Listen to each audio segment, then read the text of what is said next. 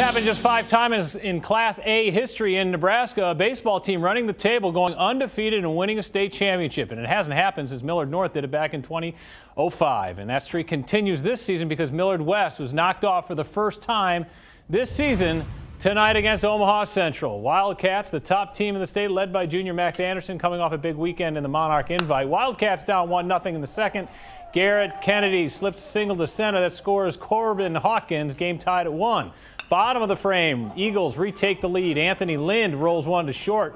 No double play can be made, and that scores the go-ahead run. Eagles add another. It's now 3-1. Final out in the seventh. Colin Gallagher wraps up a complete game. The Eagles top previously unbeaten. Millard West 3-1 we got a bunch of kids that really love baseball. They follow baseball, they study baseball, they watch baseball. Baseball is their hobby. They understand baseball. They don't get nervous when they get behind. They're confident. Uh, they understand what it takes to win. Like I was telling our principal today, you know, these guys think Central's a baseball school. Certainly is right now. Central with a big, big win for the Eagles tonight.